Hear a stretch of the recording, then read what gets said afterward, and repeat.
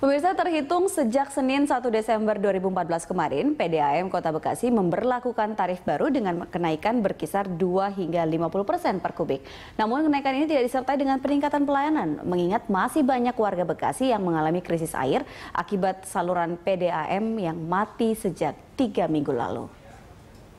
Penyebab terhentinya distribusi air dari PDAM ke rumah-rumah warga telah disampaikan kepada pihak PDAM. Namun hingga saat ini belum ada kejelasan dan hanya diberikan janji akan ada perbaikan pipa yang bocor.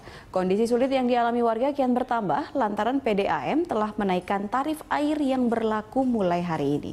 Kenaikan tertinggi terjadi pada konsumen rumah tangga tingkat kelas 3 yang semula dikenakan Rp3.800 untuk pemakaian 0 hingga 10 meter kubik air dan Rp9.000 untuk pemakaian pemakaian air di atas 10 meter kubik. Terhentinya distribusi air bersih juga membuat warga terpaksa beralih menggunakan sumur pompa dengan biaya 4 hingga 6 juta rupiah.